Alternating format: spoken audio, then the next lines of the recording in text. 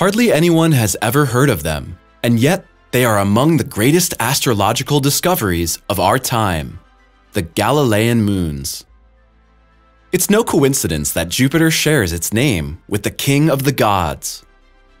Not only is it the largest planet in our solar system, with two and a half times the mass of all the other planets combined, but it also hosts some of the largest moons of any solar planet. Jupiter's largest moons are known as Galileos. They were all discovered by Galileo Galilei, the famous Italian astronomer, and named in his honor. He made his discovery between January 7th and 13th in 1610. Using his improved telescope, which he had constructed himself, he observed what he described at the time as three fixed stars, completely invisible because of their smallness. All three of these luminous objects were near Jupiter and lay on a straight line trajectory through it. With the means available to him at the time, this discovery is a true feat and proves that Galileo Galilei was very far ahead of his time. By the way, all other moons of Jupiter, like the fifth one, Amalthea, with a diameter of 93 miles that was discovered only in 1892, don't have nearly the size of the Galilean moons. Their total mass is barely one part per thousand of that of Europa, the smallest Galilean moon, despite 59 other satellites counted. If you like our videos, feel free to support us with a thumbs up.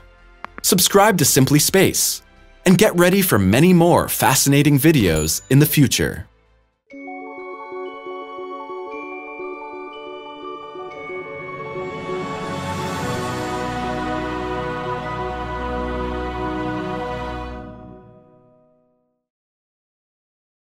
What planets are included in the Galilean moons? They include Io, Europa, Ganymede, and Callisto, and are the fourth, sixth, first, and third largest satellites in the solar system, respectively. Together, they contain nearly 99.99% of the total mass in orbit around Jupiter and are located about 250,000 to 1.2 million miles from the planet. Outside of the Sun and its eight planets, they are also among the most massive objects in our solar system. With radii larger than any of the dwarf planets, and thus occupying unimaginable proportions. Not planets, but moons.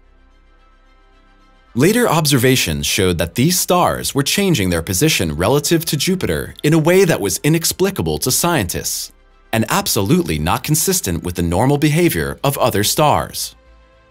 On January 10th, Galileo noticed that one of them had disappeared, an observation he attributed to the fact that it had wandered behind Jupiter and was hidden by it.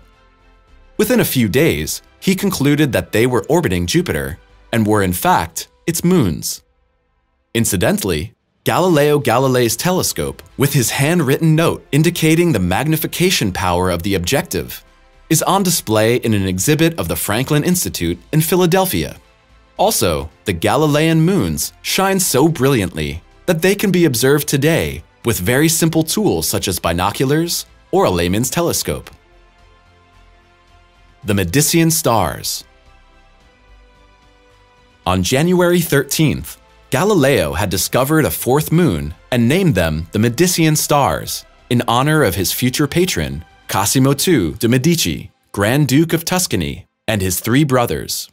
Simon Marius, however, a German astronomer who also claimed to have found these four moons, prescribed the names Io, Europa, Ganymede, and Callisto after the beloved of Zeus in Greek mythology in 1614. While these names fell out of favor for many centuries, they were commonly used to refer to Jupiter's moons until the 20th century. Together, they also became known as Galileo, in honor of their discoverer. Io.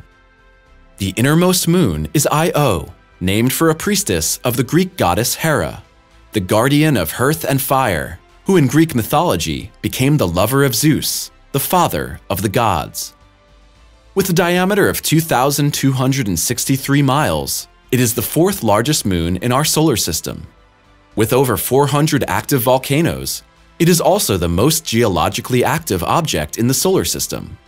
Its surface is dotted with over 100 mountains, some of which are higher than Mount Everest on our Earth.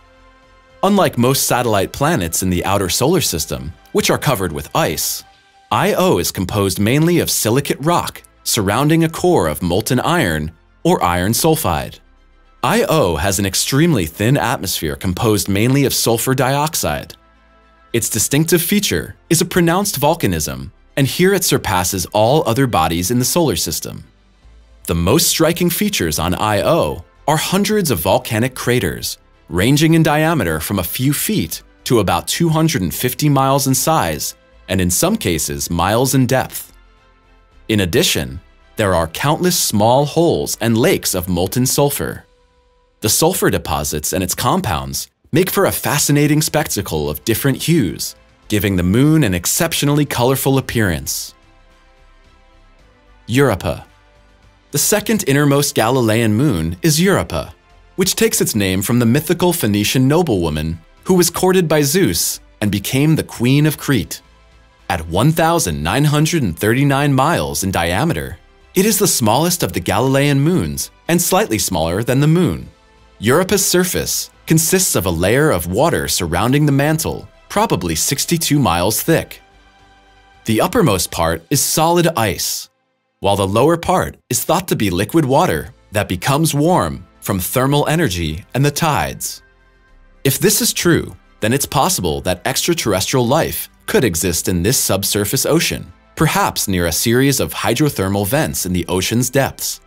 Europa's surface is also one of the smoothest in the solar system, a fact that supports the idea that liquid water exists beneath the surface. The lack of craters on the surface is attributed to the fact that the surface is young and tectonically active.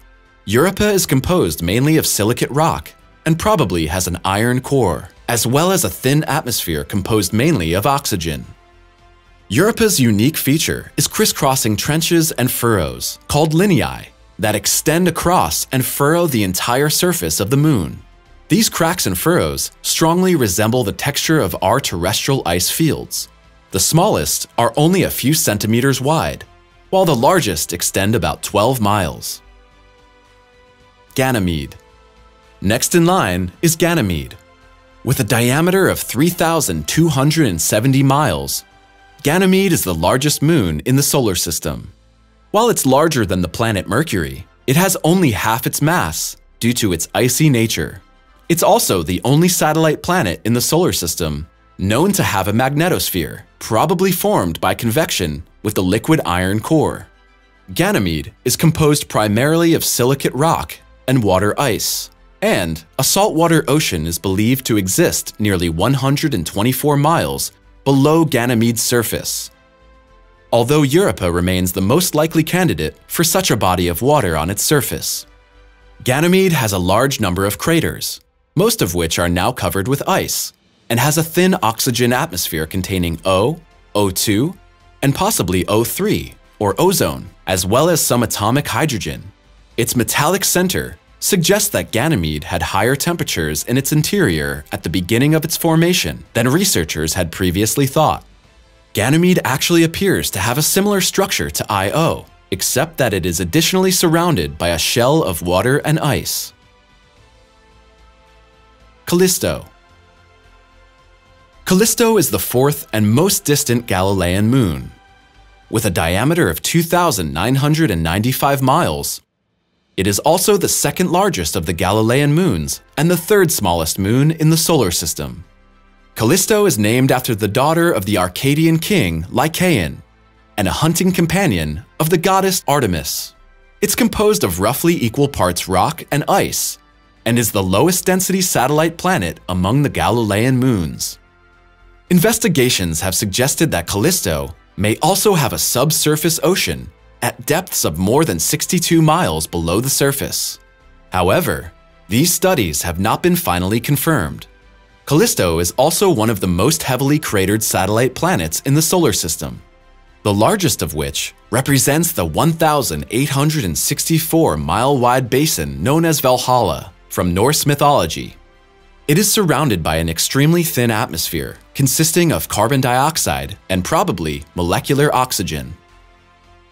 Callisto has long been considered the most suitable site for a human base for future exploration of the Jupiter system, because it's farthest from Jupiter's intense radiation. Since the 1980s, Callisto has become the focus of scientists and is considered a possible target for human spaceflight to explore new moons and planets.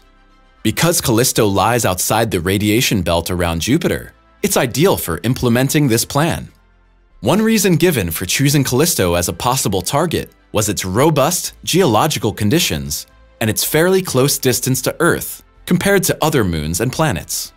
In addition, Callisto has raw materials for the supply of water and fuel, which could be useful to the astronauts. However, several basic requirements are necessary for the realization of this mission, including, first of all, an extensive exploration by an unmanned probe that will start around 2025. A sensational discovery.